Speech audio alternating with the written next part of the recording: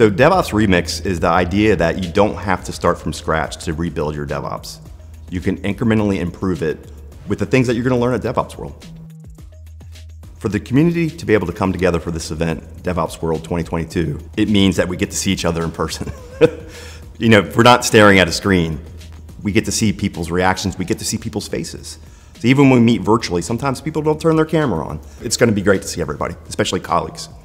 Wow, man, the energy at CloudBees is just over the top. So there's just a lot of excitement about new products and the chance to talk to customers about that.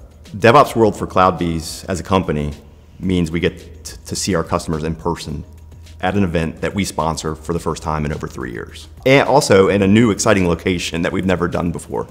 For me personally, the event means I get to see people that I've never met that I work with every day. For the last you know, three years or so, we've been doing these workshops virtually.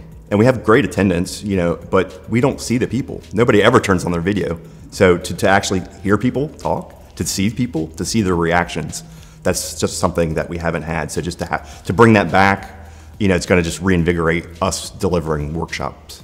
So the workshop I'm most excited about this year is the configuration as code for CloudBees CI.